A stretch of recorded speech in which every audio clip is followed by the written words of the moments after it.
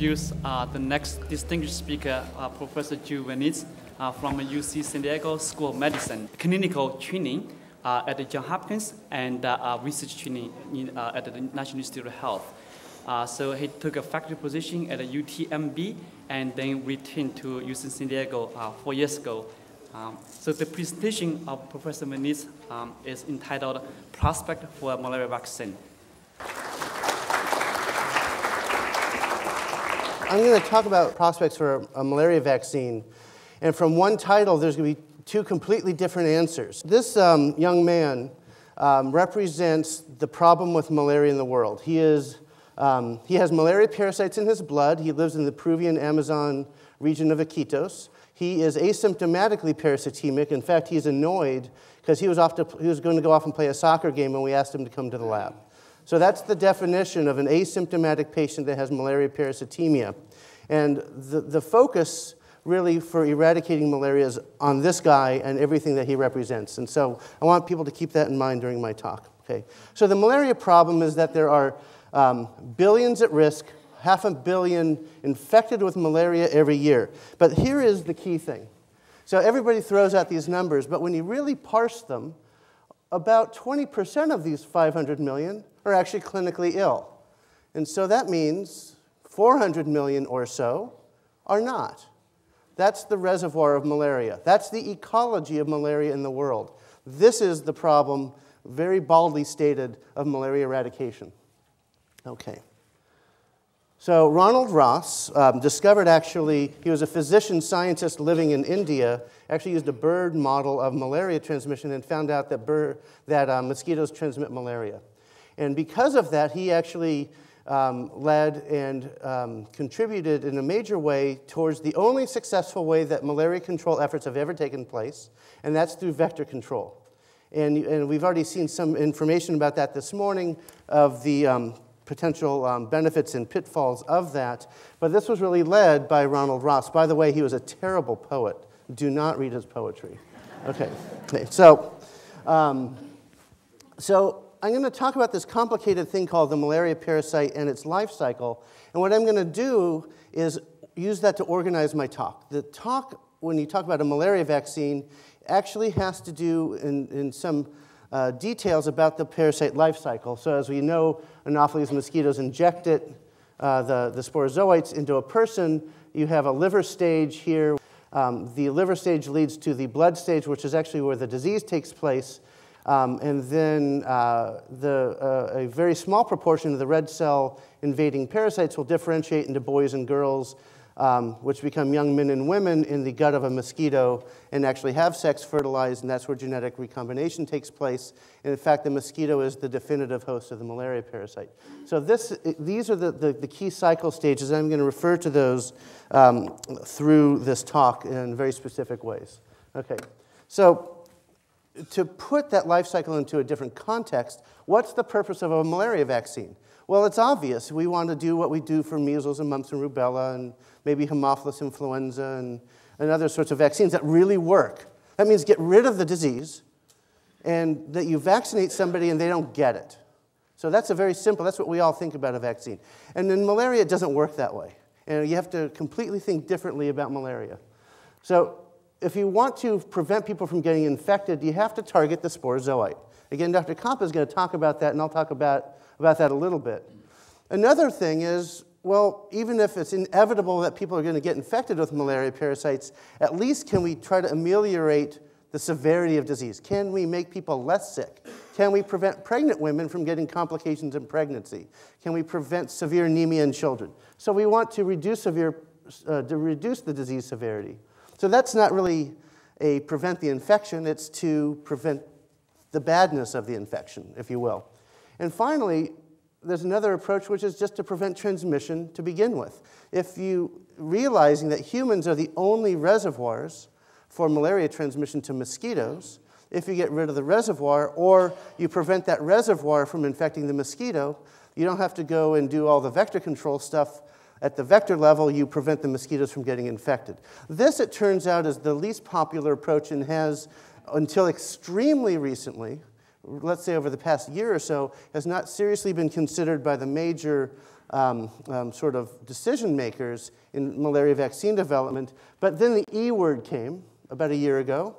And the word eradication means if you're going to try to eradicate malaria, you got to get rid of transmission. It's not good enough to reduce disease severity, and it's not good enough to have a partially effective sporozoite vaccine.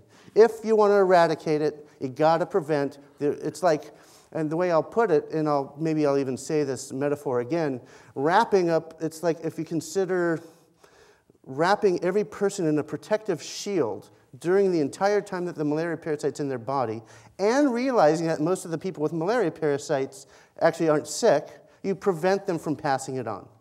Those are the ways that you have to think about any, any um, set of malaria vaccines, and that's something that's really very different than normal vaccine considerations.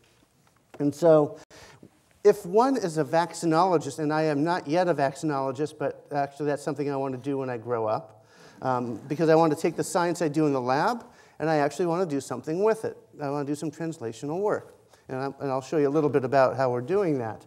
But if you're going to go and vaccinate somebody, you want to know well, um, we can't challenge people, so we have to have a surrogate marker of protection. So, for example, of measles, you vaccinate somebody if they have titers of antibodies, you say they're protected. Same thing for hepatitis A or hepatitis B or, or Haemophilus or whatever. The problem in malaria is that if you vaccinate people, you don't know if they're actually protected because we can't challenge them. So then you must do properly powered, relatively large field studies of malaria. And, if you, and then there's all the complications of the human subjects and then people have already had malaria, it's never a pure system. So, this problem that we can't actually predict, protective immunity in the laboratory is a major issue. So, this has to do with each of these stages of malaria. So, the, um, we do not really know how people become immune to sporozoites or blood stage parasites. We know that people walk around and they're perfectly clinically immune to malaria and they got parasites in their blood. That means their immune systems are controlling their parasitemia, which means they have a protective immune response, but they don't have sterilizing immunity. So they're immune, but not perfectly sterilizingly immune. Um, the, um, it's hard to study rodent malarias to, uh, to infer protective mechanisms in humans because they really are very, very different biologies. You can get some hints, but it still doesn't give you the answer you need for doing vaccine testing. Um, the only exception to that actually is in transmission blocking immunity, and I'll talk a little bit about that. Whereas if you can actually measure levels of antibodies and if they protect um, uh, mosquitoes from infection in the laboratory, you know it's going to work. So that, with that one exception, we don't even have laboratory correlates of immunity. So let's start with the first of the three stages of malaria vaccinology, and that is an anti-sporozoite vaccine. So the Anopheles mosquito is injecting during blood feeding um, sporozoites, and within usually minutes, but certainly less than half an hour, a single sporozoite's inside of a single hepatocyte. And the idea is to, to interrupt it right there. So, is it possible? Dr. Kappa, again, is going to talk in more detail. But this goes back to um, uh, one of his mentors and really the leader. Um, this is from Ruth Nussenzweig's paper, and so you can see um, there she is up here. This is published in 1967, where she took rodent malaria parasite called Plasmodium berghei, and she uh, infected mosquitoes with the parasite and then buzzed them with some radiation. And it turned out that these um, irradiated sporozoite and uh, vaccinated animals were actually partially protected, variably protected from 25 to 88 percent. So this said, you can actually use an attenuated sporozoite to actually help protect an animal against the primary infection from malaria. So all of work has actually proceeded from this point. Um, in 1984, and I don't mean any disrespect to the NYU group, but the, um, the uh, NIH group and the NYU group at the same time published the sequence of the first malaria parasite gene ever cloned, which is uh, circumsporozoite protein. Um, uh, this came from the, the NIH lab, and this is just the whole genome sequence. There'll be a quiz at the end of my talk. But the point is, is that this is in 1984. And right now, the clinical trials are actually um, continuing to go on based upon this protein. And only in the last 10 years, and really only in the last six to eight years, has the funding and the, and the practicalities of doing such a vaccine trial come along. These things take a long time. Um, one of the, uh, the, trials based on something called RTSS, which is a recombinant protein with the hepatitis B vaccine uh, um, uh, antigen fused to the circumsporozoite protein with an adjuvant was given um, to uh, young African children in Mozambique in a randomized controlled trial. And the numbers, um, this is um, one of those Rorschach tests. It's either the glass half full or the glass is half empty. I, I can leave it to you to decide. Protection um, was maybe anywhere from 50 to 60% in the short term, and this waned. And at the start of the following malaria season, maybe a quarter of children were actually protected from a malaria, um, the first onset of a malaria episode. There was some protection that was relatively short lived against severe disease. And this is the most advanced vaccine candidate. Again, against the sporozoite protein, this has been in the works for um, uh, since uh, really um, this is the culmination of the irradiated sporozoite vaccine. The other alternative way of doing this has been led by this um, actually young looking Steve Hoffman when he was still in the Navy, who, um, to cut a very long story short, has started a company to actually produce in a clinical grade way irradiated sporozoites of Plasmodium falciparum um, in an industrialized fashion in sterile mosquitoes in huge amounts and they're, and they're frozen to actually deploy them to malaria endemic regions. This is extremely audacious, um, I, and, and one can talk for a, lot, for a long time about this. Um, and, and in fact, um, there have been people that have been uh, vaccinated with irradiated sporozoites. Uh, we're talking with many immunizing bites from mosquitoes and that there's actually a surprisingly good protection rate, and that the protection actually lasts a fairly long time. It wanes with time. Um, it seems that this is a better way of vaccinating than a recombinant protein. The question is, is what's the basis of the protective immune response? And more importantly, if, if we don't understand that basis, how can we actually optimize the vaccine? These are still the open questions. And this is in, from a uh, rural village in Mali. It looks kind of like a National Geographic picture. Greg Lanzaro at UC Davis gave me this picture. Every single person in this picture has malaria parasites in their blood. Every single time they get by an infected mosquito, they're going to get an infection, and it's going to be a productive infection. And we don't know that we can even develop natural immunity to regular sporozoites. The question is, is how to actually enhance that. This is, a, in fact, I, I believe personally that people in hyperendemic areas such as this actually develop immune tolerance to sporozoites, and the vaccinologists actually haven't considered this yet either. Some have, and many have not. And so this is, a, I think, one of the major impediments to an antisporozoite vaccine. Okay.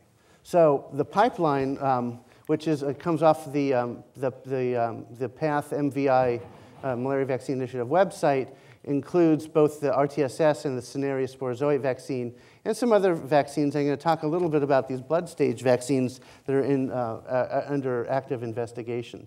Um, again, is trying to make attenuated whole organism vaccines. Um, and this is kind of, this is a nifty picture that Steve gave me. So somebody's dissecting out sterile mosquitoes because you have to be able to comply with the FDA regulations for a pure product that's not adulterated by bacteria. Um, and their goal is to actually immunize specific groups of people, including infants in sub Saharan Africa, pre adolescent, early, early adolescent girls, and this is to prevent malaria in pregnancy.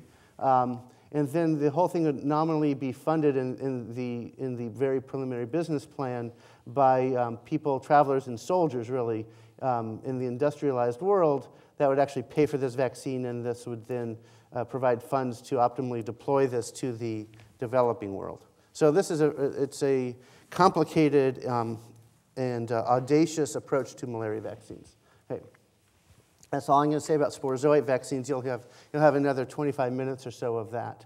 Um, the next stage is against the blood stage, is against trying to ameliorate or lower the parasitemia and prevent the sequelae or prevent the complications of the disease called malaria. And Phil Felgner just showed this. It shows that great minds think alike. Um, Nature now publishes all their papers online, so you can actually cut and paste them. You don't actually have to Xerox them and scan them and, and take pictures anymore. And the bottom line is that one can use immune uh, globulin from uh, malaria immune adults and reduce the parasitemia. So that means that presumably there's protective mechanisms that, at least in part, are in the antibody component of blood that protect, at least confers partial protection. Um, they do this on a log scale, so we don't know if this is actually sterilizing immunity, and that's another issue. And in fact, um, the children that received this immune globulin way back in the 1950s actually developed gametocytes, so now they're still able to transmit.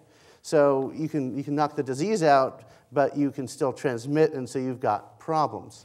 Um, it turns out you can treat patients with chloroquine and do the same thing, or, or Fansidar, and you can actually get gametocytes very nicely as well. So drugs also need to be transmission blocking to be very effective, and that's a whole other set of stories. So there's a whole boatload of blood stage proteins. Um, I liked Phil's analysis about how the top ones don't distinguish between protected and unprotected people, such as AME1 or MSP1, but EBA175 seems to be a protective antigen, and these are in various sort of um, uh, clinical uh, development, different adjuvants and different protocols, different countries, um, et cetera, different sponsors. So it, it, turns out the, the, the further along, furthest along any blood stage vaccine has gone, really through phase one safety studies. The big problem, and I don't have time to talk about this today, is that these vaccines are really going to be aimed at preventing the merozoite, which is released from an infect, a dead infected cell, from getting into a new cell. And it turns out that falciparum probably has a boatload, probably dozens of different ways of invading a red cell. And so you're going to have to, in order to make a blood stage, blood stage vaccine, prevent all of the alternative pathways of invasion and trying to kill this, this uh, evanescent uh, merozoite within the blood. This is going to be a huge challenge. And it's never going to lead to sterilizing immunity. It'll, at best, lead to partial immunity and to amelioration of symptoms. Important, yes, especially important in pregnancy. The, um, this vaccine approaches, especially with um, uh, uh, against proteins that allow the parasite to adhere to placenta. These are extremely important uh, uh vaccine approaches. But again, these are all partial technologies, or what Lewis Thomas said, halfway it's technologies. Not really getting at this the underlying problem. It's really, in a sense, it's not going to do the eradication that we all want. It's a part-way technology, trying to at least do something. Okay, so again, I showed the pipeline. And, and again, the, the, the blood stage vaccine would be hopefully something that would protect people against symptomatic malaria. This woman's having a paroxysm of uh, fever and rigor or of cerebral malaria in children. Okay. So the, what I personally believe, and this is something that is um, a long symposium and, and a lot of beers and probably some, some knives and blood on the floor, um, is actually to prevent the transmission of malaria from people to mosquitoes. And, this is, and that's, uh, again, antibodies directed at the parasite within the midgut of the mosquito. The idea is that you vaccinate people, whether or not they have malaria parasites, and if they do and, they, and a mosquito bites them, then that person becomes a delivery device of antibodies to the mosquito that prevents the parasite from invading the mosquito. Okay? So it's a different way of thinking about um, uh, a vaccine. We're trying to protect the mosquitoes of the world from transmitting it so that they don't transmit to people. Um, people call this a, an altruistic vaccine. Um, I think that's a very, very bad thing to call it. We um, do herd, it's really a vaccine to induce herd immunity. And um, everybody here in this room has had a, uh, at least a rubella vaccine. Um, every single man in the room never benefited from this rubella vaccine. What we use this vaccine for is to prevent pregnant women from passing rubella on in pregnancy. So we have herd immunity to prevent the circulation of this particular virus, and, there are, and the Haemophilus vaccine as well has turned into an eradication of this bacteria from this country, even though it was only aimed at children between nine months and two years of age because adults don't get Haemophilus meningitis. So transmission blocking vaccine is not an altruistic vaccine. It is a herd, herd immunity inducing vaccine. And if you talk to people in the developing world, they care about their communities, they care about their families, and they don't say, oh, if you vaccinate somebody else, that's going to help me. That's not a problem for them. In, in, in Europe, in the United States, if it, the vaccine doesn't help a person, they say, well, we, how could you do that? That's not ethical. And that's actually wrong. And it's, in fact, it's wrong with more people in the world than it's right with. And those are actually the fighting words. So that's the argument. That's why there's blood on the floor with transmission blocking vaccines. So, what's the evidence for it? So, um, transmission blocking immunity was actually discovered in the same laboratory, actually published in two different journals, and I, I still haven't figured out the politics of this, but Bob Watts published in Science and Richard Carter published in Nature the, pretty much the same month, doing the same experiments independently. And what they showed was if you make gametes of Plasmodium gallinaceum, which is a chicken model, you can actually immunize chickens and prevent them infect, from infecting mosquitoes. So these are purified uh, macrogametes and microgametes. They were used to immunize the chickens. Let's say this is blood being fed to mosquitoes through a membrane feeder or directly from the chickens themselves. This happens to be um, human blood with Vivax in it being fed to Anopheles mosquitoes in the Amazon. Um, mosquitoes are dissected, and then you count these oocysts uh, on the mosquito midgut at the end of the day. It's a very nice laboratory test a little bit cumbersome. This led to the next series of experiments, which is if you can actually um, immunize uh, animals to prevent transmission, what's the, how are we going to make that into a vaccine? Two groups, the NIH group and the Nijmegen group from the 19, uh, uh, early 1980s, when um, Plasmodium falciparum uh, zygotes were used to immunize mice, make monoclonal antibodies, and then those antibodies were screened to react with the surface of malaria parasites. And so these are immunofluorescence images from the Nijmegen paper showing that, that monoclonal antibodies against the, the sexual stage uh, zygotes actually bind to midgut derived falciparum uh, parasites. And if you can actually identify the antigen that those antibodies react to, you've got your vaccine candidate. And so David Kaslow followed up on that, and he was my mentor when I was at the NIH and, and 20 years ago, 20 and a half years ago now, published the first vaccine candidate, PFS 25 which still hasn't gone into clinical trials. This is actually a clinical trial. They've, um, uh, to cut a very long story short, Lou Millers and the malaria vaccine group John Robbins and uh, Rachel Schneerson at the Child Health Institute at NIH have finally, uh, and Yamin Wu, um, and a, a, number of other people have actually provided a, um, a, formulation and chemical modification of this protein that makes it immunogenic, long lasting, and sustained rising antibody titers, at least in an animal model. And now an IND is being filed in a clinical trial, hopefully in Peru, and I'll show you the site, will actually be taking place. So this is a way of actually, it's a measurable immune response. We know we have the surrogate of protection, all based upon this more than 20-year-old protein. So the uh, mechanisms of transmission blocking immunity are always antibody dependent, plus or minus complement. And of course, if you consider, um, and I don't have time to talk about this, but a mosquito is trying to digest its blood meal. A female mosquito bites people to get blood to lay eggs. So you would think, well, how could antibodies possibly last? In a mosquito midgut while it's being digested. And it turns out they do, and it works. And so, so it depends on how long these antibodies last and the quality of these antibodies and a number of other immunological parameters. This is South America. Um, here's Brazil over here, and here's Peru, and you fly into Lima. Here are the Andes Mountains, and you fly over the Andes an hour and a half, and you get to the capital of the Peruvian Amazon city called Iquitos in the Peruvian Amazon, it turns out that um, this was a place in the, in the mid 1990s where there was a progressively uh, increasing epidemic, epidemic of both of falciparum and vivax malaria. And this is really a late um, uh, consequence of the cessation of the DDT and, uh, and malaria eradication campaigns. And so uh, one can see before 1992, there was no falciparum malaria at all, and occasional sporadic cases of Plasmodium vivax. And then over the 1990s, can, one can see that there's really a rising epidemic curve, which is now partially subsided, but there's still tens of thousands of cases of both falciparum and vivax uh, in the Amazon. What's really remarkable is that last year there were three deaths total reported from falciparum malaria, despite thousands and thousands of cases.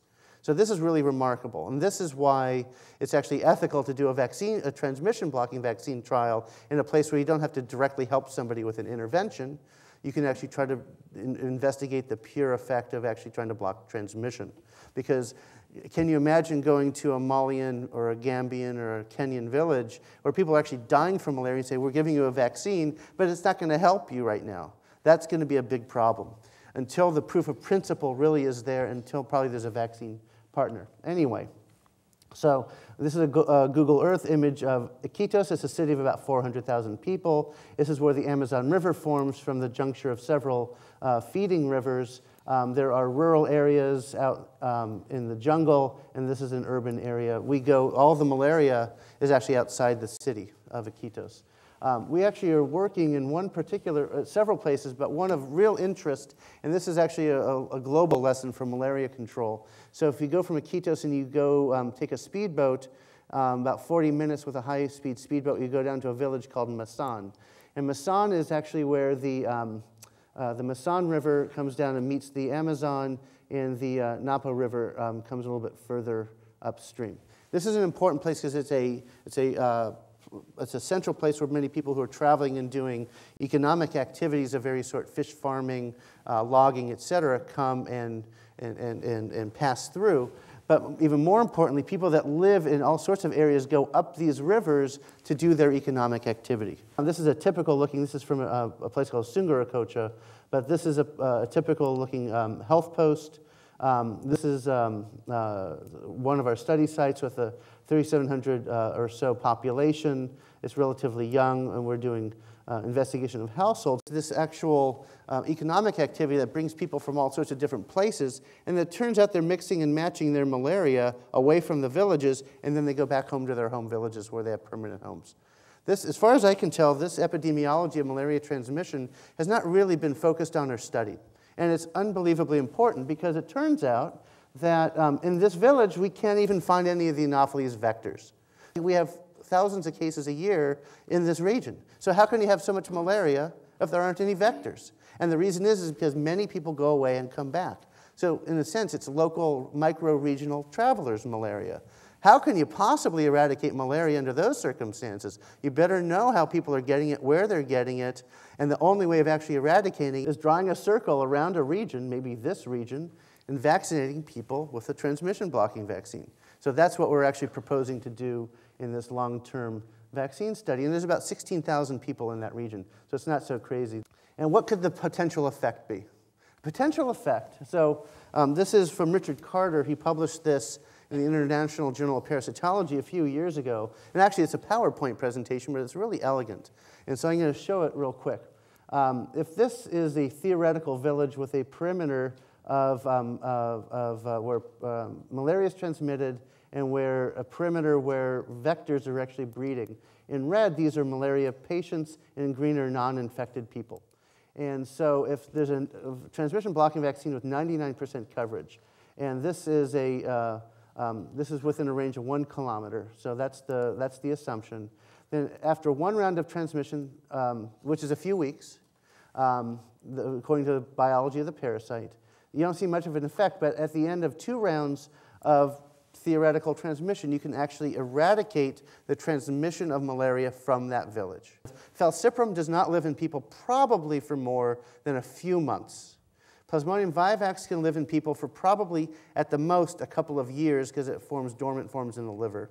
And those are the most important forms. So if you can have a vaccine that has this kind of, this is of course nearly perfect coverage and efficacy, but if you have partially effective vaccines and one can model these numbers, then you can actually see where eradication can actually take place, at least with a pure model of a transmission blocking vaccine. Now, this doesn't take into account drug treatment, secular trends, public health efforts, education, etc. This is just the pure theoretical effect of a vaccine. It's crazy. It actually looks like it might be feasible. And the main thing is can you find the people to vaccinate? Okay, so that's the, where the transmission blocking vaccine comes from. I want to end up with a sobering thought, and this is, I think, the third time today that somebody mentioned malaria in the United States. Does anybody know when it was actually eradicated? It wasn't until after World War II. And can anybody tell me the one reason that was probably eradicated? It had to do with the Tennessee Valley Authority, which actually was a uh, work project to um, create electricity and dams throughout um, that part of the country. And it took secular trends, electricity, television, screens on windows, and general elevation of the living, of the, of the living standards that actually led to the final eradication of malaria. So we can talk about vaccines. Now, vaccines are not going to necessarily do that. That's a magic bullet. Because, boy, is it hard. I think it's much harder to give everybody electricity than to give everybody a vaccine. Okay? That's the problem. And that's a sobering thought.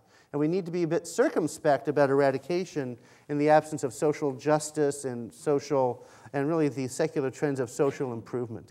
We have anophelism without malaria in this part of the world. We have Anopheles mosquitoes. So this is always going to be a threat everywhere in the world, short of the eradication. And that's the, that's the sobering news, and that's why um, if you think that one person can go and lead to explosive epidemics, when one realizes that, that's why eradication really is that much more important. Um, and I'm simply one of many people that works on malaria in, in this particular very complicated group. We've collaborated in a whole uh, series of investigations uh, with this large group of folks, and it's all been supported uh, really primarily by the NIH and a couple other agencies. Thank you very much.